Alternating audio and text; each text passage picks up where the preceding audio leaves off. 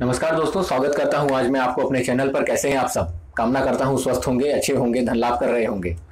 दोस्तों, आज मैं एक ऐसा नुस्खा बताने जा रहा हूँ जो प्रेमी प्रेमिकाओं के लिए है।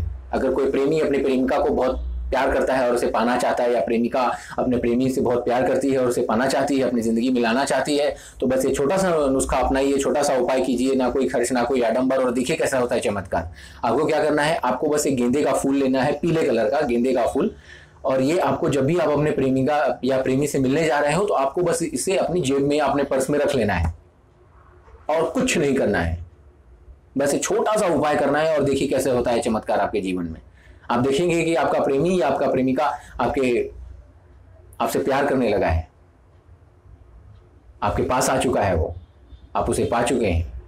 बस एक छोटा सा उपाय अपनाइए और देखिए चमत्कार। मिलते हैं अगले वीडियो में। नमस्कार।